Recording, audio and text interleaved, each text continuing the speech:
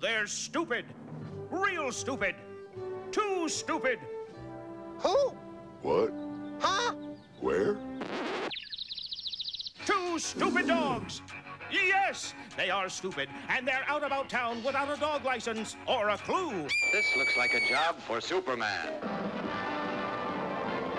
No, it's much too stupid for that. And besides, they're too dumb to hurt anyone anyway. They're two stupid dogs. See them singing. See them dancing. Uh, No, wait a minute. See them dancing. See Big Dog and Little Dog entertaining millions with their daring dog tricks. It's two stupid dogs. Be witness to their charm. I love doggies. Observe their cunning.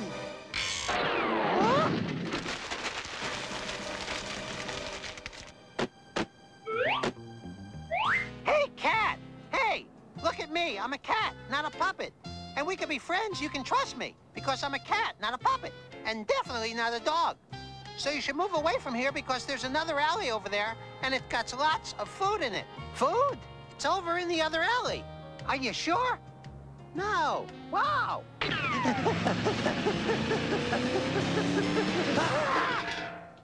hey, there's no food over here.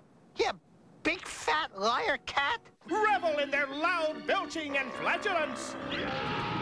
Oh, yes! Every episode of Two Stupid Dogs on the Cartoon Network is packed full of stupidity, and it would be silly for you to miss it. So tune in for Two Stupid Dogs on the greatest place for stupid pets, the Cartoon Network.